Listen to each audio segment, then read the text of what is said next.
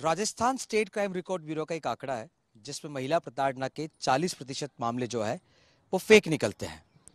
इन दिनों राजस्थान की राजधानी जयपुर में एक मुहिम तेज़ी पकड़ रही है, वो है पुरुष आयोग बनाने की। इंटरनेशनल एथलीट है रिचा सैनी एंटरप्रनोर भी है और पॉलिटिकल पार्टी से भी जुड़ी हुई है, वो बहुत जल्द इस मामले पीआईएल लगाने वाली है।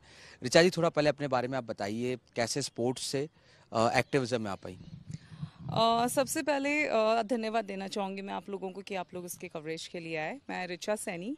uh, सबसे पहले तो मैं बताना चाहूँगी कि मैं स्पोर्ट्स बैकग्राउंड से रही हूँ।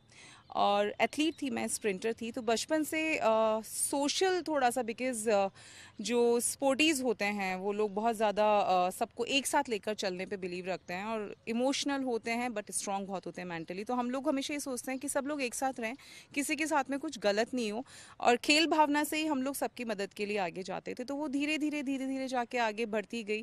फिर महारानी कॉलेज से मैं पास आउट हुई तो वहाँ पे भी मैं स्पोर्ट्स सेक्रेटरी थी. वहाँ से थोड़ा सा टर्न अप हुआ कि आगे निकले पॉलिटिकल पार्टी में आए प्रदेश प्रवक्ता भी रही, मैं बीजेपी युवा किसान मोर्चा में।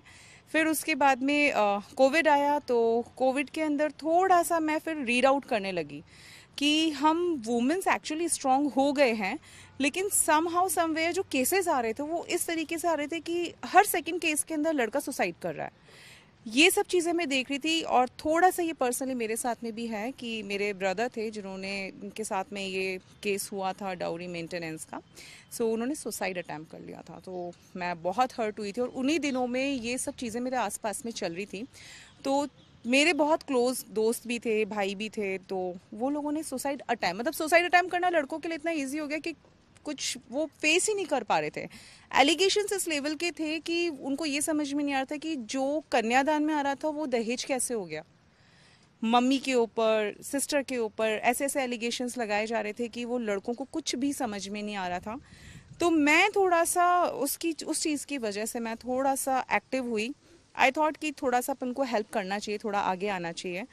फिर आ, पहले मैंने कोई आयोग की मांग नहीं करी थी। मैं नॉर्मल चल रही थी मेरे पास में, क्योंकि शुरू से ही थोड़ा सा एक्टिव थी सोशली तो थानों में जाना शुरू करा, वहाँ केसेस देखे काउंसलिंग्स करी। तो कुछ काउंसलिंग्स के अंदर मैं विन भी रही कि उनकी आज बहुत हैप्पीली सक्सेसफुल मैरिज है, जो मतलब इस तरीके से एक दूसरे को देखना भी पसंद नहीं करते थे। आज उनके दो दो बच्चे हैं। तो थोड़ा सा कॉन्फिडेंस आया। फिर कुछ केसेस ऐसे आए कि जिसमें मैं सुनकर एक्चुअली खुद ऐसी हो गई थी कि अब ये चैलेंज है। तो उस चैलेंज को धीरे धीरे आगे करते करते यहाँ तक पहुँच गए।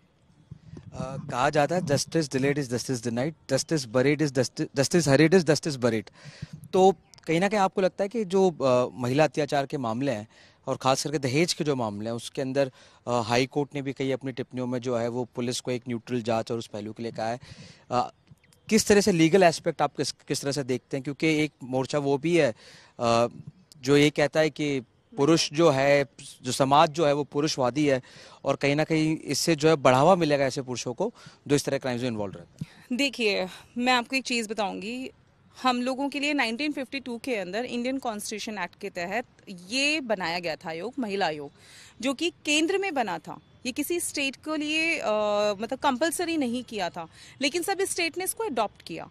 उस टाइम पर महिलाओं की जो स्थिति थी, वो इतनी प्रताड़ित थी कि वो बाहर भी नहीं निकल सकती थी। और ये बात तो बोलना बहुत बड़ी बात है किसी ससुराल के अगेंस्ट कि वो अपनी ससुराल के अगेंस्ट बोले।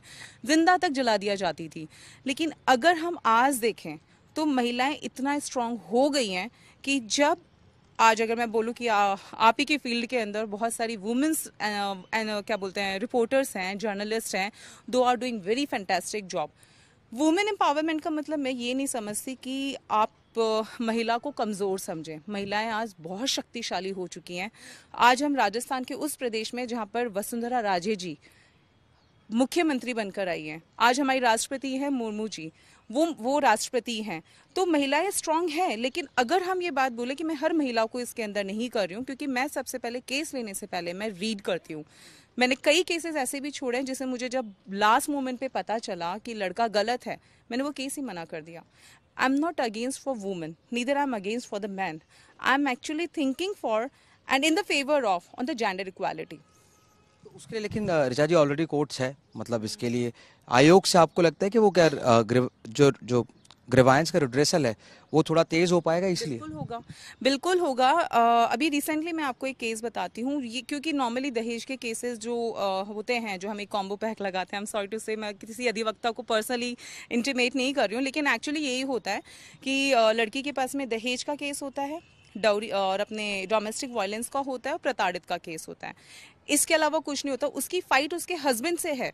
वो हस्बैंड को इन्वॉल्व ना करके सबसे पहले वो उसके सराउंडिंग जैसे उसके मम्मी हुए फादर हुए, भाई हुआ, बहन हुआ, भाभी हुई, इन सबको इन्वॉल्व करते हैं। तो शादी आपकी, आपके हस्बैंड से हुई थी तो आप सबसे पहले उनसे अपने गर्जेस क्लियर करें। हाँ अगर किसी लेवल के ऊपर आप सच में प्रताड़ित हो, तब आप कोर्ट में जाओ। आपकी काउंसलिंग होती है उसके अंदर लड़कियों को मैंने देखा है चिल्लाते चिल्लाते हुए कि मेरे को चालीस लाख रुपए दे दो मैं छोड़ दूँगी। मेरे को पचास लाख रुपए में छोड़ दूँगी और उसके अंदर उस लड़की की फैमिली भी इन्वॉल्व होती है। तो चालीस लाख पचास लाख से आपकी लाइफ तो नहीं निकलेगी। ब्लैकमेलिंग का एक तरीका बन एग्जैक्टली exactly. और ये हर लेडी का नहीं ये मतलब अगर हंड्रेड में से हम बोलेंगे टेन और फिफ्टीन परसेंट ऐसा होता है but that fifteen percent media में आता है। क्योंकि ये लोग कहीं से भी नहीं छोड़ती हैं अभी अदर कम्युनिटी के अंदर भी जाके इस्लामिक रूल को मैंने देखा, उसको पढ़ा और उसके अंदर भी मैंने देखा कि ट्रिपल तलाक के केस को लड़की ने इस तरीके से उसको अपना पावर बना के एक इनोसेंट लड़के को इस तरीके से फंसाया कि उसके पीछे सब लोग पड़ गए थे। और आज उसी के अंदर मैं एंटिसिपेटरी बेल लेकर आई। उससे पहले मैंने उस लड़की से काउंसलिंग करने की कोशिश करी। वो लड़की आज भी हँसी, आज भी जो मेरा स्टेटस लगा तो she was laughing like she give the emojis like that I said कि ठीक है, तुम्हें जो ठीक लग रहा है वो तुम करो, लेकिन सबसे पहले मेरे लिए वर्डिक्ट जो होता है ग्राउंड जो होता है, मैं उस पर वर्क करती हूँ।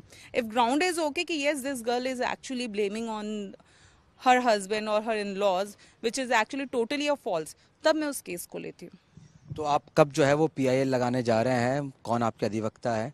और आपको क्या लगता है कि उसको लीगल स्टैंडिंग कितनी मिलेगी इस बार लीगल स्टैंडिंग देखिए हम कभी भी मैं प्रेडिक्ट नहीं कर सकती अभी लेकिन मेरे जो अधिवक्ता साहब हैं मिस्टर संचित तामरा और उनकी जो टीम है हम सब लोग जो वर्कआउट कर रहे हैं राजीव जी ओवी जी हम सब लोग अभी यही सोच के चल रहे हैं कि हमें अभी पी पे फोकस रखना है।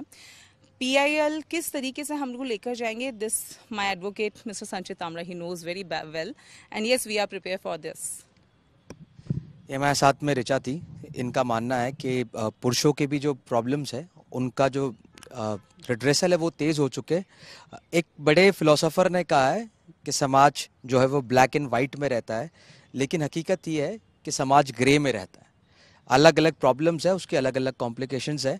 रिचा का भी यही अटेम्प्ट है कि एक आयोग बने ताकि हर जेंडर की जो बात है, वो सुनी जा सके। ट्रांसजेंडर बोर्ड भी राजस्थान पहला राज्य था, जिसने गठित करा था।